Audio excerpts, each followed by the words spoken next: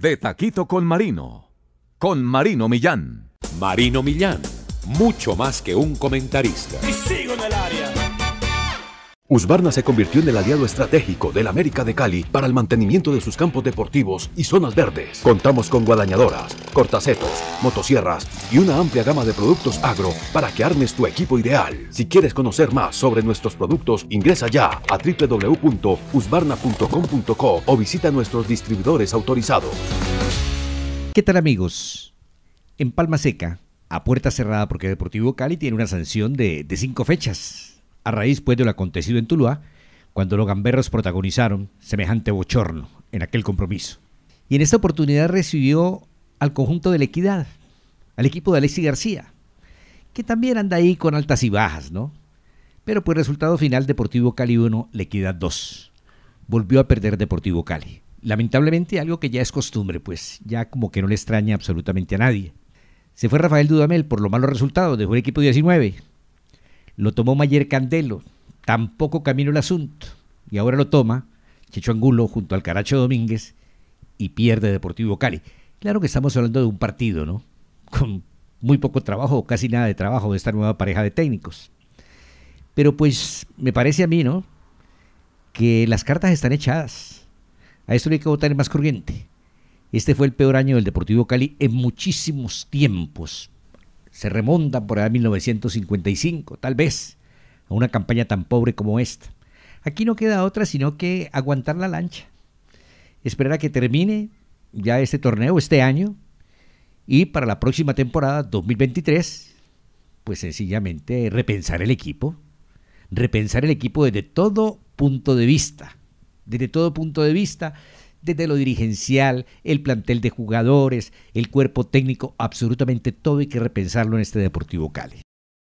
La gente me ha dicho varias veces, ¿y por qué únicamente usted habla del cuerpo técnico y habla de los jugadores si nunca toca a los directivos? Pero ¿qué voy a decir de los directivos? Por favor, ya se van. No han entregado el equipo, no se han ido por no dejarlo tirado. Pero están esperando únicamente la asamblea para que haya revocatoria y se van, no quieren estar más.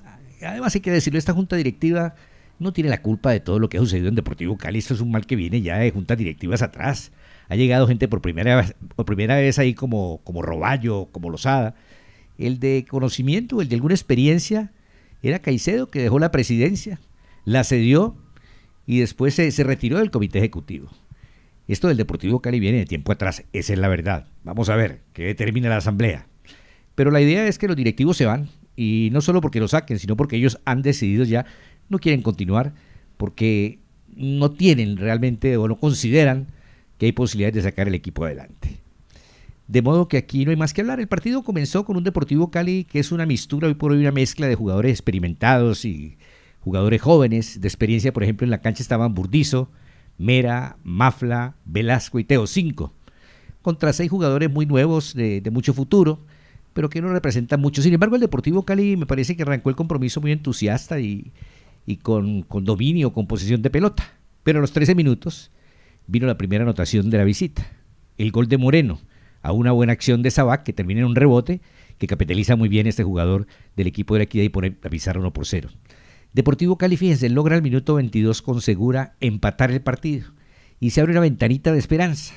Pero ya a los 34 viene una imprudencia del arquero Miguel Sánchez que genera otra pena máxima. No es la primera vez, inclusive Mera le reclamó muy airado, porque no era necesidad de eso. Y el cobre de Sabá que cobró con una finura, una elegancia, a los 34 y determina el 2 a 1. Y el partido, pues, tuvo goles en la primera mitad. En la parte complementaria se dedicó Equidad a lo que sabe, ¿no? Que es a defenderse, a sostener el resultado. Deportivo Cali o el cuerpo técnico hizo algunos movimientos, e ingresó a Buletí. Y, ah, esa es otra, pues. Meten a González por Velasco, que se va lesionado, y a los 88 se hace expulsar y queda Deportivo Cali otra vez con 10 elementos. Entró Buletich, entró Lucumí, entró Salazar, pero nada cambió. Terminó ganando el equipo de la Equidad en condición de visita, otra derrota para Deportivo Cali y no hay que reventarse más la cabeza, es la verdad. Aquí no hay que votarle más corriente al asunto, ni desgastarse. Y eso que se salvó Deportivo Cali del tercer, una pelota en el palo a un remate de cabeza de Castro. Sí, se perdió de nuevo, y bueno, pues paciencia, paciencia, a ver qué pasa en la asamblea, quiénes llegan en la nueva junta directiva y qué es lo que tienen para el próximo año, porque este ya se fue así, tal cual, en blanco. Por lo menos así lo veo yo.